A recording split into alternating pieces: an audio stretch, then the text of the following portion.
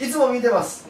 村岡さんは YouTube のコミュニティ開設の予定はありませんか？あ私はマサさんのコミュニティには入らせてもらっているのですがお村岡さんが開設したらそっちにも入っちゃいます。あ危ねえな。そっちやめてやめて違う。危ない危ない。そっちにも。うでもそんな強制的なことじゃない。はい。今のところはちょっと考えてないですね、いやそら村岡さん、うんうん。どこ行ったら俺も入りたいもん。なんでなんで入りたいんだろういや多分なんか普段を見たいんじゃないですか。多分ガチで村岡さんのこと好きなんです普段を見せるコミュニティを作ってるの？あの実際あるじゃん。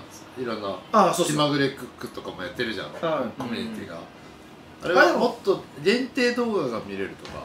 あいやそんなんじゃないです。もう僕例え普段をば僕見せますよ。ただ飲み会するだけです。ねずっああとそう。うん。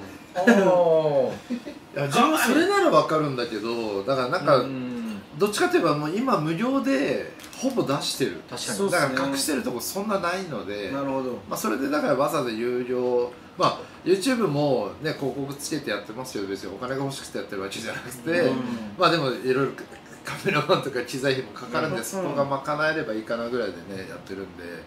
自分のお金欲しさにはやってないから。だからコミュニティは考えてないですね、うん。いやでも多分多分ふ、まあ、普段の村岡さんみたいっていうよりは村岡さんにだ僕のあれもそうですけど、多分認知してほしいからスタートして、あうん分かってほしいっていう気持ちがあって、まあで最終的に友達になるっていう。そう、う、うん。まあ、僕の場合は50人以上その友達が一気に作れないので友達になるなら50人かなっつって50人で止めてる感じです、なるほどね。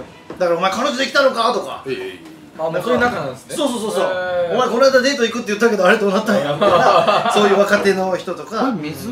あ違います。これレモンサワーです。でもさああはい。薄いと思って入れようとした やっはぱいそんな感じで。だからコミュニティは当分ないと思います。うん